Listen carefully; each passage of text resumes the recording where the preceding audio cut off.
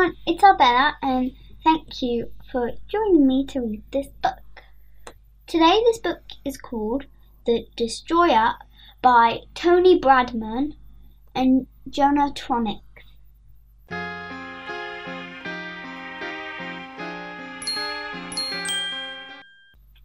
Max's mission log.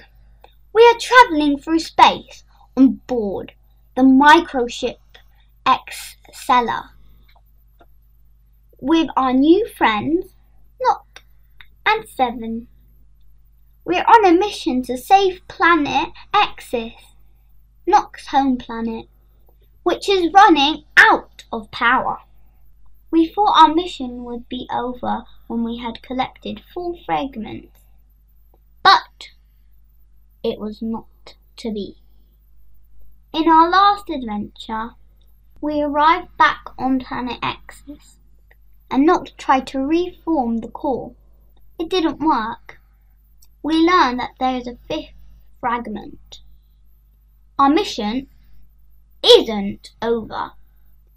Only the king and queen of Exis, Nok's parents, know where the final fragment is hidden. So our first task is to find them. They have been taken prisoner by a space villain called Badalor and his army of robotic Krools. Badalor wants the power of the core for himself. Chapter 1 Badalor's Ship Five figures appeared on the teleport deck of Badalor's ship, the Destroyer. They stood for a moment their minds still full of darkness. Max, Cat, Ant, Tiger, and Nok gazed around at their unfamiliar surroundings. The light from the teleport gave the room a sinister yellow and green glow. Only seconds earlier, they had been on planet Exis. They tried to reform the core of Exis. It hadn't worked. There was still one fragment missing. Only the king and queen of Exis, Nok's parents, knew where the missing fragment was. But they were being held prisoner on the destroyer. Back on planet Exis, the last thing the children had seen was their friend, Seven, being hit by an energy ball. Krool One, the commander of Badalor's army, had blasted him out of the teleport beam. Seven hadn't made it onto the destroyer. We must go back down to Exis, cried Nok. Seven needs help. We can't go back now, Nok, Max said gently. Badalor is still down there. He could teleport here at any second, added the cat. Tiger was already pulling some wires out from under the control panel. I've disconnected the teleporter! That should stop Badalor for a while. The only problem is that we can't teleport off the ship now either. We'll find a way when the time comes, said Max. He knew he had to be brave, even though his stomach was gurgling like the pipes around him. First, we need to find the king and queen. They can tell us where the fifth fragment is. Then we can defeat Badalor for good. Chapter 2 A Narrow Escape Ant was studying the control panel. If I could access the ship's computer, I might be able to find out where the king and queen are. I can't do it from here, though, he said. I think we need to get to the bridge. Okay, said Max. Let's head there, then. Tiger was about to reach for the door controls when he heard a rumbling sound in the corridor outside. His watch started flashing a red warning signal. Krools, he whispered. Hide!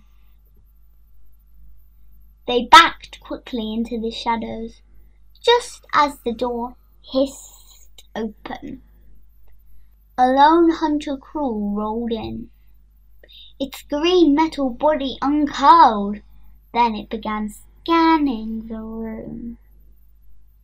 Cat held her breath and squeezed herself under the control panel as the Krool scanner swept by.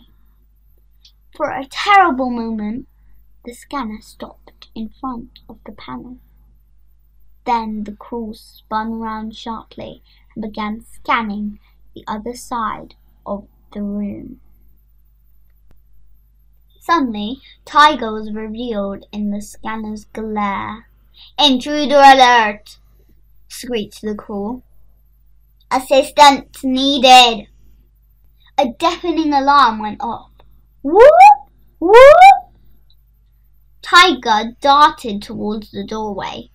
The Krool raised its arm, ready to fire an energy ball.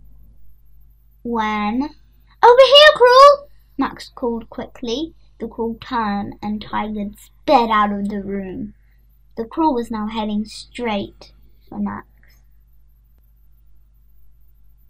Up there! shouted Nok, pointing to a metal grill in the wall. Max understood immediately.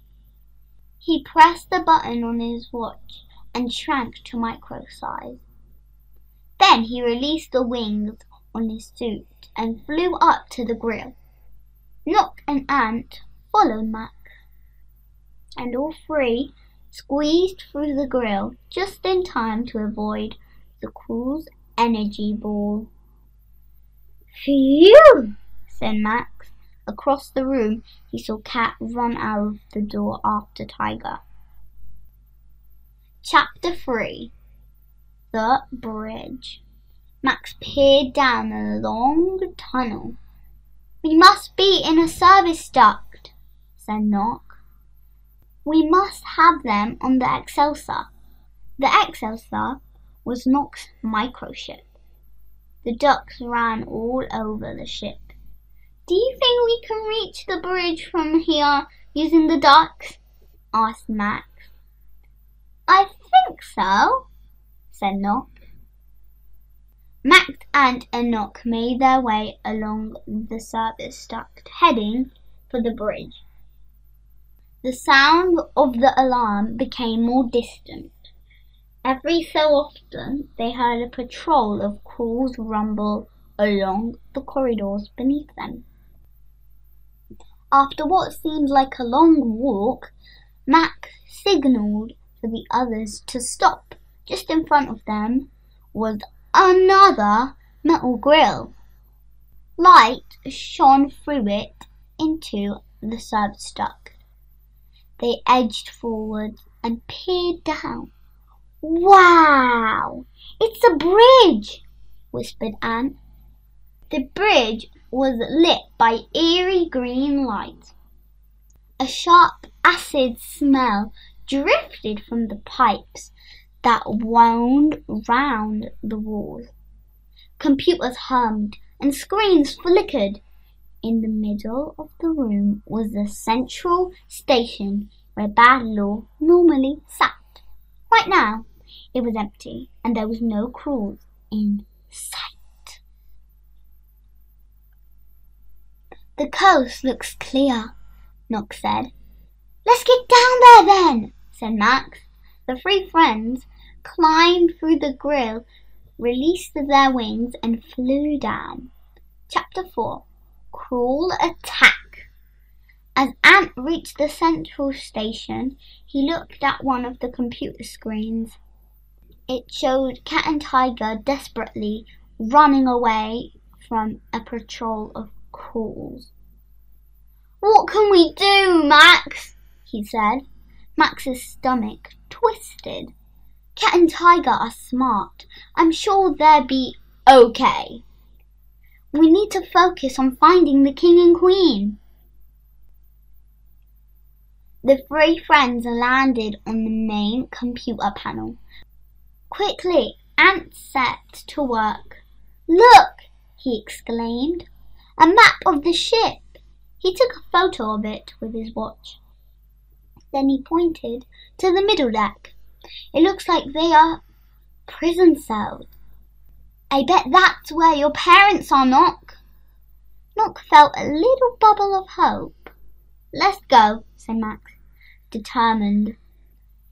He stepped to one side, but as he did so, he knocked a lever which slid backwards.